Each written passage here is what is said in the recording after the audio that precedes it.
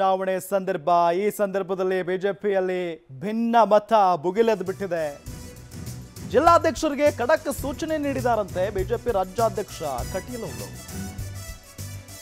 ಜಿಲ್ಲಾಧ್ಯಕ್ಷರುಗಳಿಗೆ, BJP ಜಿಲ್ಲಾಧ್ಯಕ್ಷರುಗಳಿಗೆ ಖಡಕ್ ಸೂಚನೆಯನ್ನ ನೀಡಿದ್ದಾರಂತೆ ಕಟೀಲ್.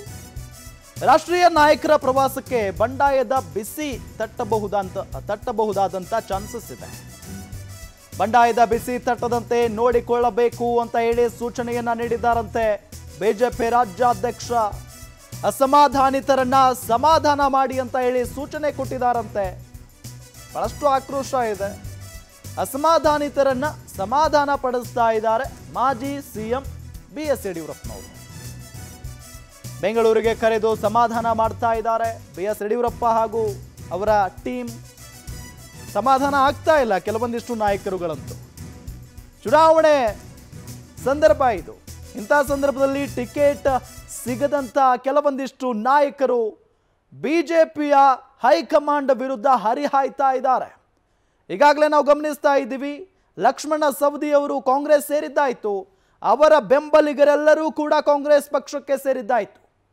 ಈಗ ಜಗದೀಶ್ ಶೆಟ್ಟರ್ ಅವರು. ಜಗದೀಶ್ ಶೆಟ್ಟರ್ ಸೇರಿದಂತೆ ಅವರ ಬೆಂಬಲಿಗರು ಕೂಡ ರಾಜೀನಾಮೆ ಕೊಡೋದಕ್ಕೆ ಮುಂದಾಗಿದ್ದಾರೆ. ಆಕ್ರೋಶವನ್ನು ವ್ಯಕ್ತಪಡಿಸ್ತಾ ಇದ್ದಾರೆ.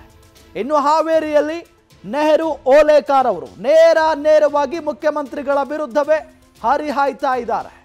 ನನಗೆ ಟಿಕೆಟ್ ಸಿಗದಂಗೆ ಮಾಡಿರೋದು ಮುಖ್ಯಮಂತ್ರಿ ಬಸವರಾಜ ಬೊಮ್ಮಾಯಿನೇ. ನನಗೆ ಗೊತ್ತಿದೆ ಅಂತ ಹೇಳಿ ನೇರ ನೇರವಾಗಿ ಆರೋಪವನ್ನು ಕೂಡ ಮಾಡಿದ್ದಾರೆ. ಅವರು ಅವರ ಬೆಂಬಲಿಗರ ಸಮೇತ ರಾಜೀನಾಮೆಯನ್ನು ನೀಡೋದಕ್ಕೆ ಮುಂದಾಗಿದ್ದಾರೆ. ಹೀಗೆ ಕೆಲವೊಂದಿಷ್ಟು ನಾಯಕರುಗಳಿದಾರಲ್ಲ, ಟಿಕೆಟ್ ಸಿಗದವರು ಬಿ ಜೆ ಪಿ ನಾಯಕರ ವಿರುದ್ಧವಾಗಿ ಹರಿಹಾಯ್ತಾ ಇದ್ದಾರೆ. ಇನ್ನು ಈಗ ಕೆಲವೊಂದಿಷ್ಟು ಕಡೆ ಹಿರಿಯ ನಾಯಕರು ಹೋಗುವಂಥ ಚಾನ್ಸಸ್ ಇರುತ್ತೆ ಪ್ರಚಾರಕ್ಕಾಗಿ. ಅಂಥ ಸಂದರ್ಭದಲ್ಲಿ ಬಂಡಾಯ ಎದ್ದಿದಾರಲ್ಲ ನಾಯಕರು, ಅವರ ಬೆಂಬಲಿಗರು ಗಲಾಟೆ ಮಾಡುವಂಥ ಚಾನ್ಸಸ್ ಇರುತ್ತೆ. ಹಾಗಾಗಿನೇ ಪಿ ರಾಜ್ಯಾಧ್ಯಕ್ಷ ನಳಿನ್ ಕುಮಾರ್ ಕಟೀಲ್ ಅವರು ಈಗ ಜಿಲ್ಲಾಧ್ಯಕ್ಷರುಗಳಿಗೆ, ಬಿಜೆಪಿಯ ಜಿಲ್ಲಾಧ್ಯಕ್ಷರುಗಳಿಗೆ ಸೂಚನೆಯನ್ನ ಕೊಟ್ಟಿದ್ದಾರಂತೆ. ಅಂದ್ರೆ ಪ್ರಚಾರಕ್ಕೆ ಬಂದಂತ ಸಂದರ್ಭದಲ್ಲಿ ಯಾರೂ ಕೂಡ ಗಲಾಟೆ ಮಾಡಬಾರದು. ಪಕ್ಷಕ್ಕೆ ಡ್ಯಾಮೇಜ್ ಆಗದಂತೆ ನೋಡಿಕೊಳ್ಳಿ ಅಂತ ಹೇಳಿ ಸೂಚನೆಯನ್ನ ಕೊಟ್ಟಿದ್ದಾರಂತೆ. ಎಲ್ಲ ಪದಾಧಿಕಾರಿಗಳಿಗೆ ಕಟೀಲ್ ಸೂಚನೆಯನ್ನ ನೀಡಿದ್ದಾರೆ. ಯಾವುದೇ ರೀತಿಯಾದಂಥ ತೊಂದರೆ ಆಗಬಾರ್ದು. ಪಕ್ಷ ಬಿಟ್ಟು ಹೋಗುವವರನ್ನ ತಡೀರಿ, ಆದಷ್ಟು ಪ್ರಯತ್ನ ಪಡಿ.